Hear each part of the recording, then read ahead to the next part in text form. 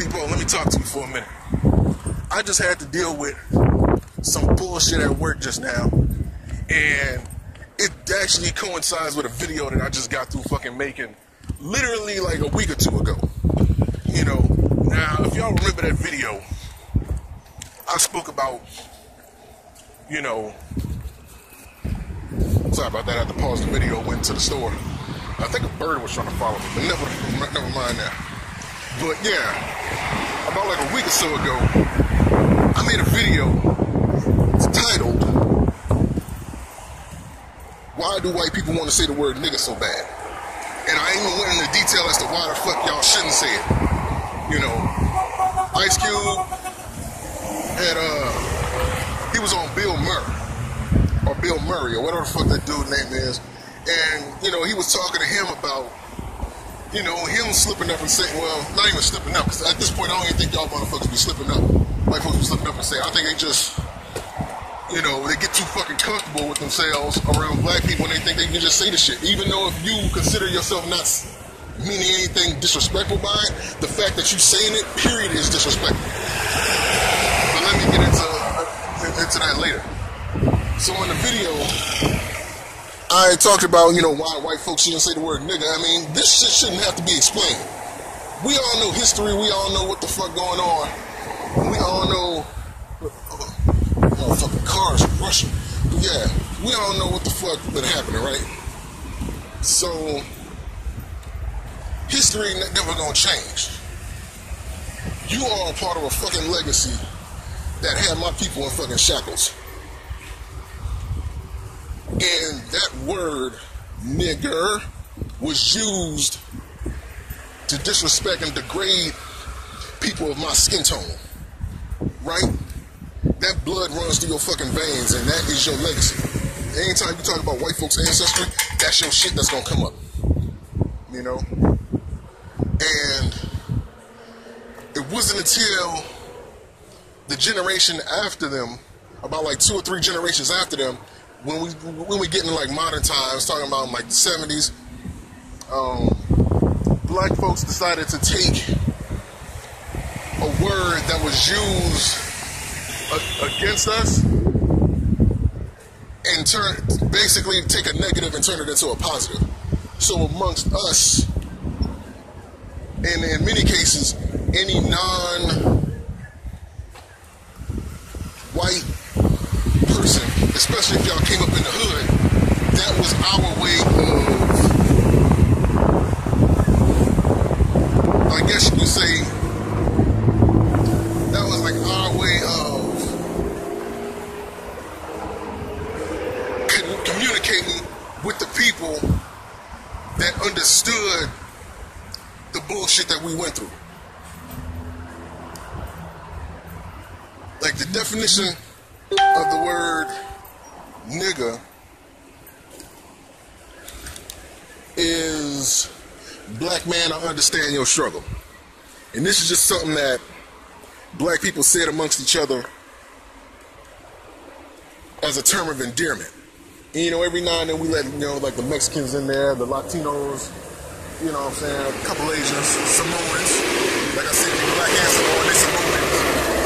And just something White folks was never allowed to say that shit. And it's for a reason, because of those historical reasons.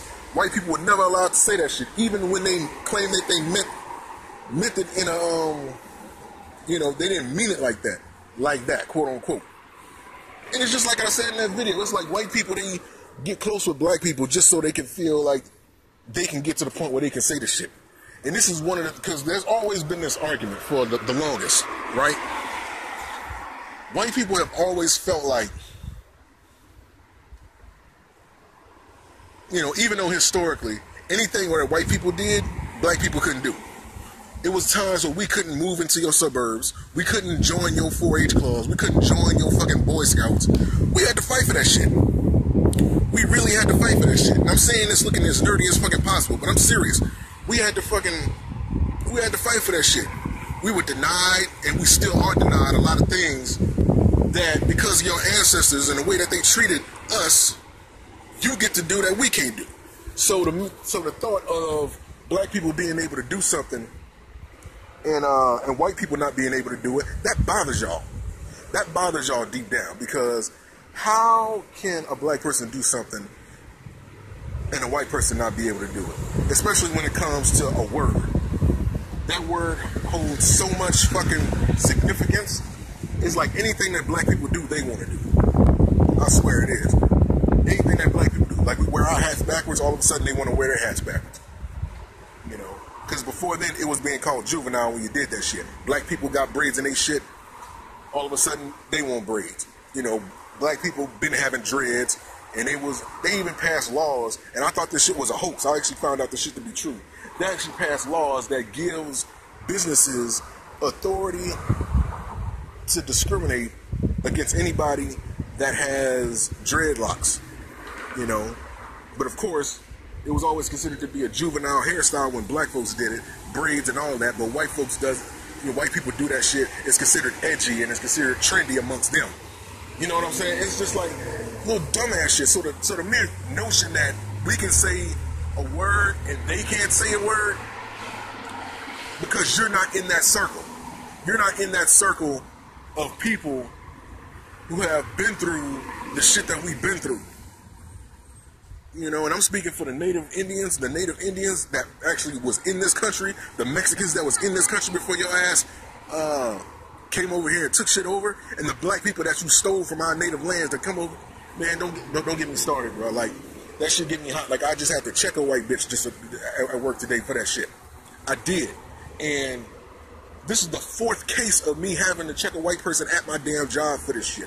Look, I don't give a fuck what black people allow you to say that shit. Don't say it. Period. Because deep down, every black if, if a black person doesn't want to slap you, then they a fucking coon. That's just what it is. They're bootlicking Uncle Tom, and they don't des- like, bruh, like, like understand. Like, I'm not trying to be angry, but understand my frustration with this shit. Like, how do you get to the? You claim that you cool with black people, right? That's even more so the fucking reason why you guys shouldn't say it. How are you cool with black people and you don't? Man, look, white people don't say that shit especially around me. We ain't never gonna be cool enough for you to say that shit. Never. Understand that shit. Please. We can be cool, don't do it. Don't imply anything racial. Don't even, even if you mean it nice, don't say the shit at all. I don't care how much of, like, if you're a black person and you're allowing white people to say nigga in front of you all casual, like, like that shit ain't a problem you a fucking coon. You're Uncle Tom. That's all it is. And as part of y'all, and I have a feeling that some of y'all might have voted Republican.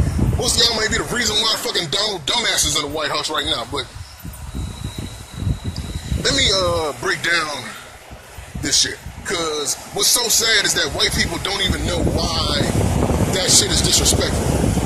Like, they have no fucking clue. It's sad that they don't fucking know why that shit is. Like, how do you not know why saying nigga is disrespectful to black people. Like, for real. Like, how do you not know that? Like, how does that shit not cross your fucking mind? Like, damn, this could be, you know, this is offensive to people.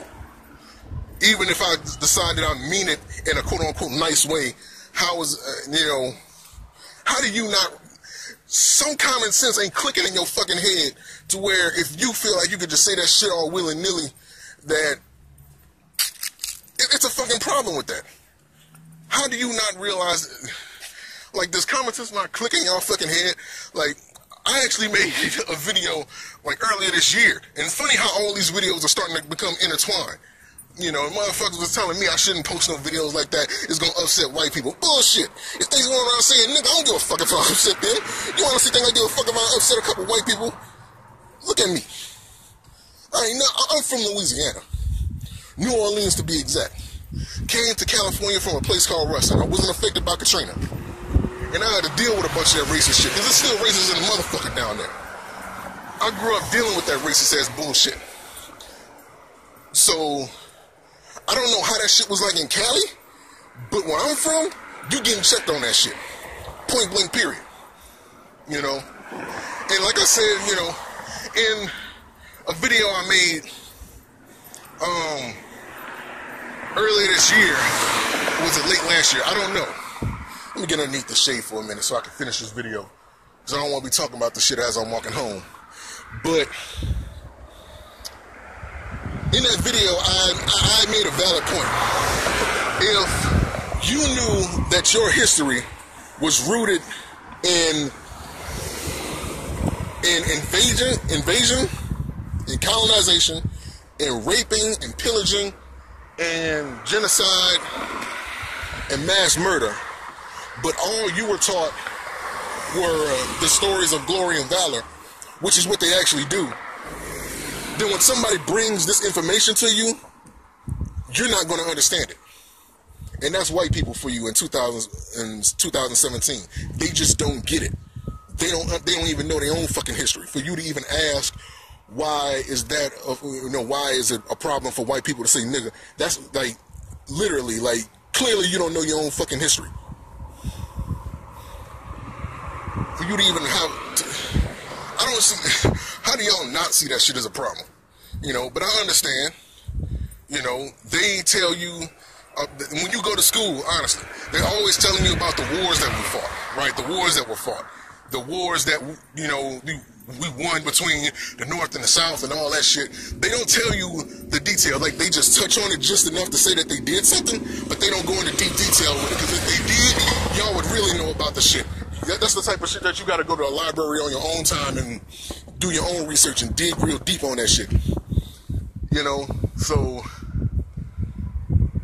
it was a picture floating around like white people, uh, uh, going back to what I said about black people being coons when they allow white people to say nigga around them. Some of y'all may remember last year, 2016. It was around like the Halloween time, and they were making all these racist costumes and racist pictures going around of white people dressing up like Trayvon Martin with like a blood stain. They rub ketchup on like a hoodie, and they walk around with looking black face paint and shit on. You know what I mean? Obviously being, you know, racist than a motherfucker, intentionally being racist than a motherfucker. It was one picture in particular, and that shit stuck in my fucking mind. And it's funny because I always thought about shit like that when a white person thought they was gonna get away with saying nigga around me. And I look at every black person that does allow that shit to happen. It was one picture, uh, uh it was during Halloween, where there was these pictures of five girls. It was four white girls and one black girl.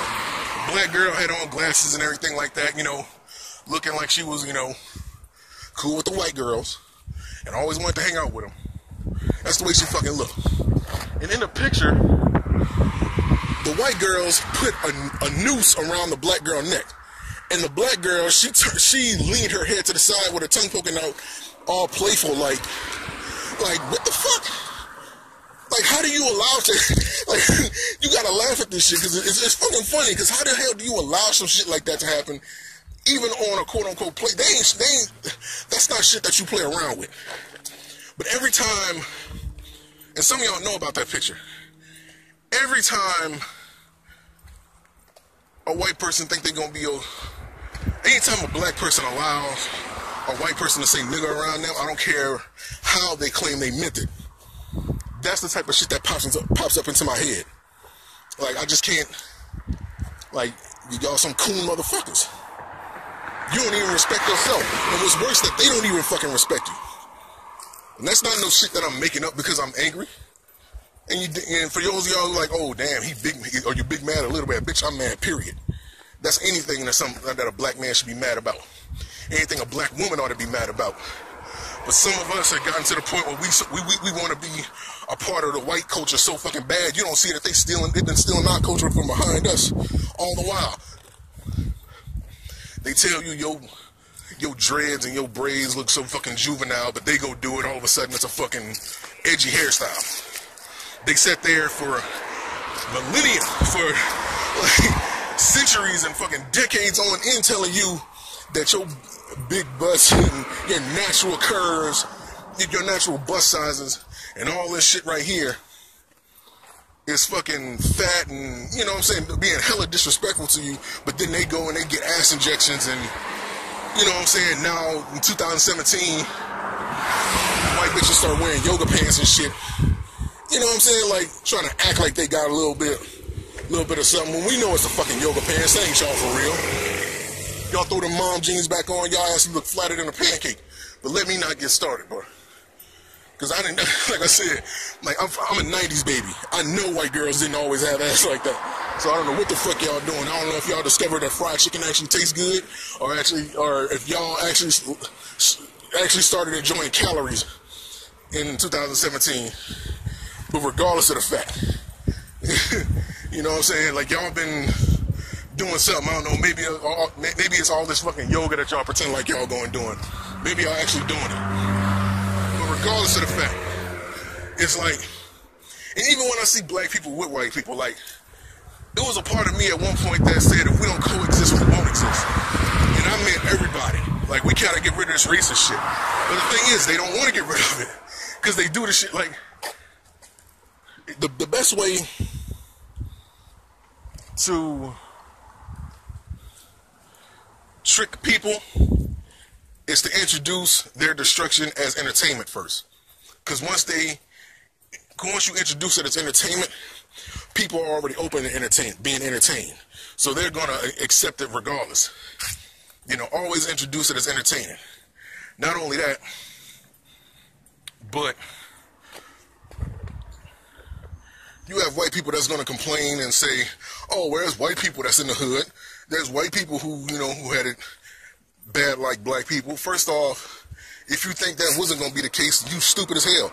You obviously don't know how a master plan works. A master plan, you can't, a master plan always involves, you basically it works like this. You can't trick your enemies without tricking your allies first. Because if your enemies catch wind that your ally is moving a certain way, then they gonna figure out something's up. You have to genuinely trick your allies in order for you to trick your enemies. So of course there was gonna be some white people that got affected by the shit that they was trying to hit black people with. Of course it was. They didn't want to make it too obvious that this is what they was doing against fucking black people. And fucking Mexicans and Native Americans. The real Native Americans. Let, let, let me not get started on that. But but yeah. So I didn't want this shit to be extra long, but just know, white people, have some fucking respect for your goddamn self. Because if you respect yourself enough, then you would know that you shouldn't be saying no shit like that. Period. Those word, a word like nigga shouldn't be coming out your mouth. I don't care how you claim you mean it. Shit like that shouldn't be coming out your fucking mouth. And if you gotta ask yourself, well, why is it a problem? then you need to do it in your own fucking background. You need to check on your own fucking history. Look up American history. Literally read a fucking book, dumbass. And no, I'm not mad or worried about the car because, again, like in a, another in, in, a video said in the past, um, there's somebody coming by in this Ninja Turtle van. You know, you gotta be smart like the shit that affects you isn't gonna affect white people the same way. Like they do shit in secret that if you call them out on it, you're gonna end up doing that out in the open, and you're gonna get in trouble for responding to them. They're not gonna get in trouble for shit. They get slapped on the wrist for the shit that we get like fucking punished even more for. So you gotta be ready to deal with shit in a in a silent manner. Like even when I checked old girl, at work. I, did, I wasn't loud. I, I wasn't like, you know, um, making a big scene. No, I just pulled her to the side, like, yo, that shit you said earlier, like niggas ain't shit. I know you was being playful and shit, but don't say that shit. She said, I didn't mean it like that. Like, I don't give a fuck. She said, okay, and she walked away. She knew what time it was. Like, like you can't be like that, bro. Be smart, man. You claim you cool with black people, respect first off, respect yourself enough to where you wouldn't say no shit like that, and respect black people enough to understand that that's not a word that you say. Period. You know, it's, it's not nothing that you should be playing with. That ain't shit to play with. And even if a black person claims that they allow you to say that shit, respect yourself enough to not say that shit, even around them. You know, that word holds a lot of fucking weight in the United States of America even if um the black people that's allowing you to say that shit don't fucking realize it. because they claim they want to get past shit. No, how we gonna get past it is you wising the fuck up. Not the black people wising the fuck up, but you wising the fuck up. We took a negative and made it a positive for our benefit. Because the word was already so fucking beating our head. Thanks, Massa. My ancestors got a lot of lashes on their fucking back. And um yeah, I'm just saying. Yeah, man, that's gonna be it, bro. I don't want to um, make even, a bigger of a scene. You know. I just wanted to say that, man. Peace and love, and uh, you know, let's be respectful to each other. Can we do that, please? That's it.